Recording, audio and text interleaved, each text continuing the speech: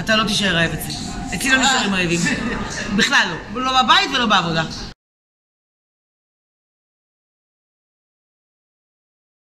זה הבית שלנו, כאן זה החמ"ל, כמו שאומרים.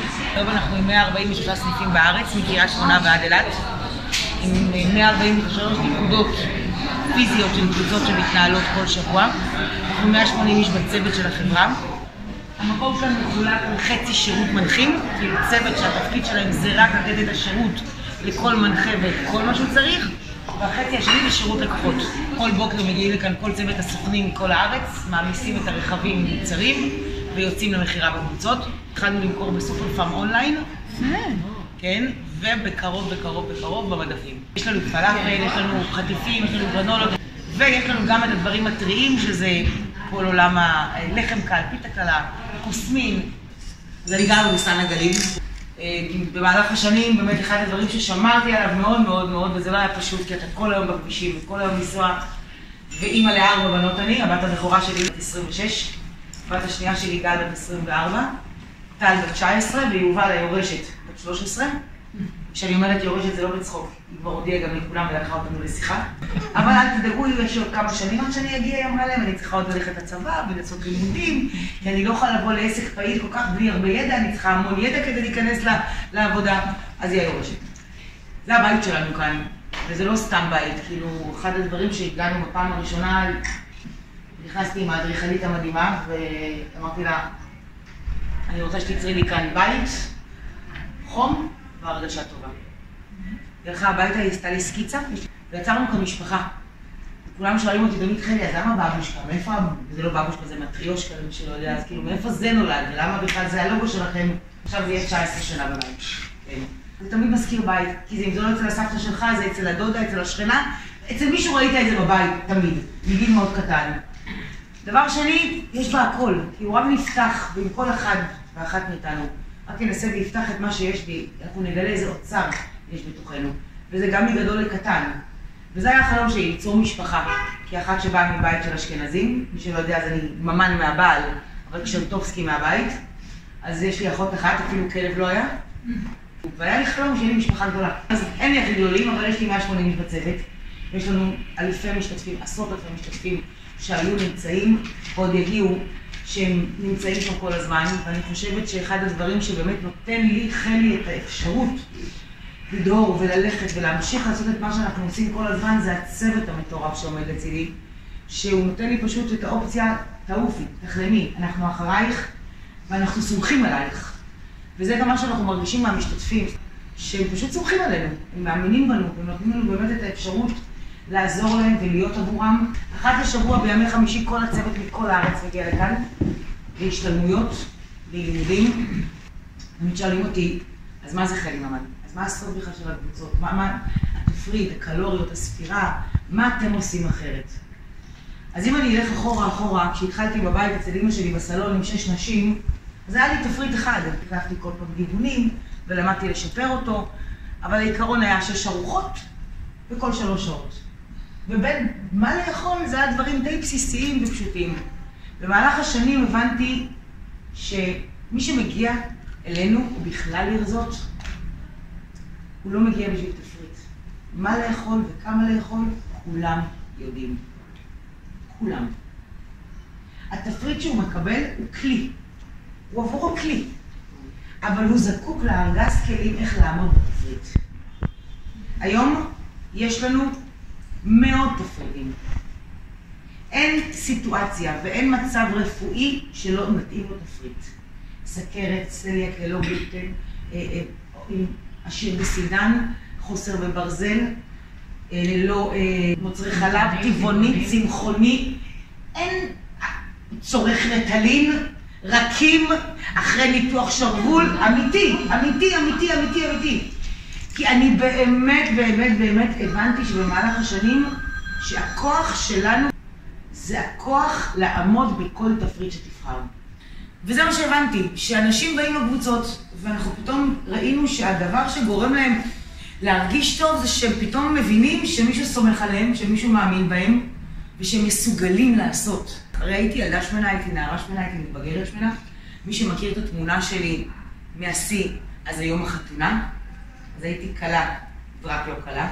תמיד עשיתי דיאטות. לא חושבת שיש מישהו שלא מכירה את זה. מתחילים, מפסיקים, מתחילים, מפסיקים. אבל אף פעם לא המשכתי עד הסוף. אני כחלי, לעולם לא אפשרתי לעצמי לראות ולהבין שאני יכולה לראות אחרת. משהו כאן אצלי היה תקוע במין תמונה כזו ש... מה זה משנה כמה את שוקלת? את תמיד תהיי שמנה. את רחבה, את גדולה. התקליטים שהיו אצלי, זה תמיד נגיד בגן, זה אה, רחלי, תעמדי בסוף. אבל לא כי היא רצה להעליב אותי, הייתי גבוהה. עכשיו, מה אתה לוקח את זה? כי אתה גדול. עכשיו, גדול לילד זה לא גבוה, זה שמן. ואז הגענו לבית ספר, ותמיד אני אגיד יוצאים לטיול, אז חלי המעצב מאחורה. כאילו, רחלי, את, את תלכי האחרונה, למה? כדי שאני לא אסתיר אף אחד קטן. אבל ברגע שאני אישית כחלי חוויתי חוויה, זה היה לפני 23 וקצת שנה אחרי הלידה של הבת שלי גל, שפגשתי מישהי שהייתה שכנה שלי מגיל 4 עד גיל 14, והייתה, תמיד הייתה ציפורה כזאת, שכאילו, יודעת, תביא את החלב, מי ייקח אותה, כאילו, ענקית. ופתאום פגשתי אותה אחרי שנים שלא ראיתי אותה, והיא הפכה להיות ציפי. ואז מה שזכור לי זה הרגע שאני פוגשת אותה, ואני מסתכלת לה על הידיים, ואני אומרת, כשמרזים, ומרזים בידיים, אני, אני כאילו פתאום, זו הייתה פעם ראשונה שחוויתי בהבנה שלי שבאמת אפשר לראות אחרת. וזה היה הרגע בחיי המכונן, שפתאום הבנתי שאם אני עושה, זה קורה. אני יכולה להגיד לכם שאצלי, לדוגמה, באותם רגעים והשנים, השומן פגע בי, הוא העליב אותי. אני כבר הגעתי למצב שאני נעלבת ממנו.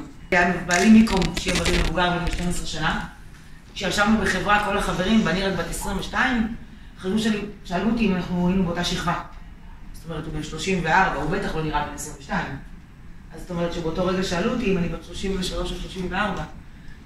וכשאתה מתחיל פתאום לכאוב, וזה מעליב אותך, אתה מרגיש פתאום שאתה מתחיל לא להיות אתה, אתה מאבד את האותנטיות שלך, אז זה כבר לא כיף. וברגע שאתה חווה את המקומות האלה, ופתאום אתה מבין שבאמת זה אפשרי, אז משהו קורה שם. וכל שיחה שאני מדברת, אני יותר ויותר ויותר מבינה שהיום אנחנו באמת לא צריכים להתעסק רק במה לאכול וכמה לאכול, אלא בלחזק את האדם ואת המשתתף, בלהאמין שהוא מסוגל לעמוד בזה. וזה לא משנה לי אם היא צריכה תפריט טבעוני, או תפריט לסוכרת, או אם היא צריכה תפריט לצמחוני, או תפריט לאישה עם שחלות פוליציסטיות, זה בכלל לא משנה לי מה. אני כאן לתת לך את הכלים לעמוד בכל תפריט שתרצי. היום אחד הדברים שאני עושה לו לא מעט נשים שנגיד רוצות אה, לפרוץ דרך, או רוצות חולמות לעשות עסק, אז אני, זה מהכיף שלי ככה יושבת איתה לשיחה, לתת לה טיפים וכלים. כי אם אני הייתי חושבת, נגיד, שאני עוד 18 שנה רוצה לעמוד פה היום, אז בטח לא הייתי מתחילה בכלל. כי זה היה מפחיד, כאילו, איך אתה יכול לצאת עם משהו שהוא עוד לא גמור? אבל למדנו תוך כדי תנועה. כל הזמן אתה לומד ומשפר ועושה. אני גדלתי בארצות הברית מגיל 14. וכשהגענו לארה"ב במשך חודשיים התעללתי בהורים שלי. בכיתי, לא הייתי נחמדה, חוץ מלאכול עשיתי הכל. כאילו, רק, רק על האוכל לא ויתרתי. חודשיים הבנתי שזה לא עוזר לי, והם לא מרחמים עליי, והם לא מחזירים אותי לגור עם סבתא בארץ. אז אה, אמרתי לעצמי, את כבר באמריקה, כאילו, בואי תהני. אז במשך ארבע שנים התעללתי בהם עוד, ומה היה המשפט הבא? בגיל 18 אני חוזרת לארץ. הגיע גיל 18, אז היינו כבר מיקו ואני חברים, ואמרתי לו, מיקו, חוזרת לארץ, אתה בא? אז הוא אמר לי, לא נמאס לך להם? די, תפסיקי, נו, אני לא אימא שלך. בואי, תני לי יד, אני אעזור לך לרדת מהעץ. הוא היה בטוח שטיפסתי על עץ גבוה ארבע שנים, אני לא יכולה לרדת ממנו. ואז הוא התחיל, מה? אין עבודה שם, לא מבינה, ועל הפנים, ואת לא תמצאי שום דבר, ומה נעשה, ולא יהיה לנו זה. אמרתי לו, זה לא מעניין אותי. אמרתי לו, לא מבינה, כאילו בישראל כולם מובטלים. ואז בדיוק הגיע איתו, אמרתי לו, תגיד לי, והלוח הבטוח מאחור, כאילו, זה למי הלוח דרושים הזה? זה סתם כאילו לעשות פרינט? אז הוא בא לאמא שלו, אמר לה, אהובה, תקשיבי טוב, אין לי ברירה. אני נוסע איתה לארץ. חודשיים, שלושה, אני מראה לה כמה חרא שם. אני אראה לה איך כולם קנאים, איך הם צרי עיניים, ביוקרטיה. היא על ארבע תחזור לכאן, ולא שקט ממנה. לפחות לכמה שנים. לא בדיוק עזר לי. חזרתי לארץ, ואז אחרי איזה חודש אני פוגשת חבר טוב, אני אומרת לו, כאילו, אני חוזרת לארץ. הוא אומר לי, חייב לי מי שעובד קשה מצליח בכל מקום. ולא עובר כמה ימים, אני פוגשת בדודה שלי איריס, אני אומרת לה, איריס, אני חוזרת לגור פה. היא אומרת לי, חלי, תתמידי, נתתחת ותראי איך הכל עובד. כבר לא אומרים לי שאני פראיירת, כבר לא אומרים לי שאני... זו הייתה הנקודה שהבנתי שבחיים אדם צריך לדעת לבדוק למי הוא מספר את החלום שלו. וזה התפקיד שלנו בקבוצות, באמת. לבדוק טוב טוב טוב. למי אתה מספר את החלום? עד כמה אתה מאמין? ולבדוק איך אתה עושה ובונה דרך להצליח. כי זה דברים שהם קטנים, ובאמת, זה לא דברים שאתה צריך להצריך מעצמך שינויים מאוד מאוד גדולים, וזו הסיבה שבאמת בקבוצות אנשים מאוד מתחברים ומרגישים נעים, כי הם לא מרגישים מסכנים, הם לא מרגישים בתסכול, הם מרגישים שיש מי שמחבק אותם, מקשיב להם, ומלמד אותם לנצח את עצמם. כי אני חושבת שמה שאנחנו צריכים להבין בחיים, זה מתי אתה יכול להתקדם קדימה, שאתה עסוק בעצמך. אני לעולם לא מסתכלת על צדדים בכל מה שקשור לעשייה. אני מסתכלת על שלי. אני לא מעניין אותי מה המתחרים עושים, ואני מכבדת אותם, וההפך, אני אוהבת, כי הם שומרים עליי להמשיך לרוץ קדימה ולחפש את הדבר הבא. אני בן אדם מאוד של אנשים. לי מאוד מאוד קשה, מאוד קשה, השינוי שהדיגיטל היום מביא איתו. אז מצד אחד כיף לנו ויש לנו המון דברים חדשים, אבל מצד שני לנו, למי שאדם שהוא, זה כמו אדם של ספר לדוגמה, או עיתון, ופתאום אתה עובר לדיגיטל, זה מעבר לא פשוט. גם קו הוואטסאפ שלנו הוא קו לכולם. כל מי שיש לו שאלה יכול לשלוח הודעה, נעלה לו על, על אוכל, מתכונים, אה, אם הוא ראה איזה גיד לחם, הוא לא יודע איך להמיר אותו, אם מותר לו, אסור לו, הוא פתוח לכולם. אתר חדש שלנו של חלי אונליין, ממש קבוצות תמיכה באונליין. שכל מי שירצה להירשם, יקבל הביתה משקל שלנו, שהמשקל מחובר אלינו, שפעם בשבוע הרצאה שלי, והרצאה של מנחה, וליווי של דיאטנית, והתאמה של תפריטים, וסרטונים, ואלף ואחד דברים שיהיה איתו שם כל הזמן ongoing לכל דבר. אנחנו כל הזמן מנסים לפצח את האנושי עם הדיגיטל ביחד. ובשנתיים האחרונות בכלל נכנסתי לעוד הרפתקה מדהימה, לסטארט-אפ חדש. קיבלתי מייל למשרד יום אחד, שלום, קוראים לי ליליה, אני אשת מערכות אה, מידע, ויש לי איזשהו רעיון מדהים בשבילך, נשמח לדבר איתך. מה היה דבר מדהים? היא מדברת טכנולוגית. עכשיו, איפה חלי הבעיה שלי? אני לא מבינה טכנולוגיה. לי אין את האומץ לבקש ממערכת לעשות דברים. אני בכל דבר לאורך כל השנים תמיד מתייעצת עם, עם הבנות שלי, עם לי, גל, עם כולם, כי אני חושבת שהם באמת, יש להם את היכולת לראות מאוד מה נכון. אנחנו כבר היום אחרי שנה של הטמעה אצלי בחברה ולמידה, ובנינו מערכת שיודעת לזהות מצב פרה-נטישה של לקוח בתהליך, שיודעת להתריע למנחה מי הולך לנטוש ואיזה פעולות שימור להפעיל שם. זו מערכת גנרית לכל העולמות, זה להפסקת עישון, לנטישה מקולג'ים, אנשים נרשמים ללימודים ונוטשים. היא יודעת, היא תדע לזהות, היא מופעלת מרגשות גם, זאת אומרת, היא לא רק מערכת מידע אה, טכנית, היא מלקטת נתונים, מקבלת, וגם אתה כלקוח יכול גם להביע ולשתף אותך ברגשות ולעשות את ההתאמות הנכונות. אנחנו צמצמנו את אחוזי הנטישה ב-25 אחוז, ותבינו שבעולמות הרזייה יש 75 אחוזי נטישה. ואלה אותם דברים שכל הזמן אנחנו מנסים לרוץ קדימה ובאמת לחפש מה עוד אפשר לעזור. כי, כן, השמנה היא לא תיעלם, וההפך.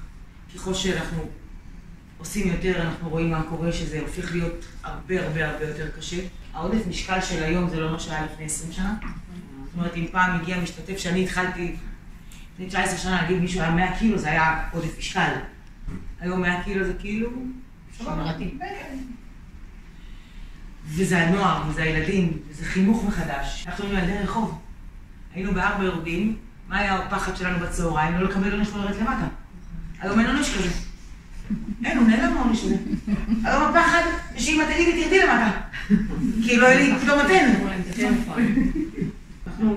מי שנגיד סובלת בעודף משקל, היא חושבת שהבת שלה תהיה מי שהיא הייתה בילדות.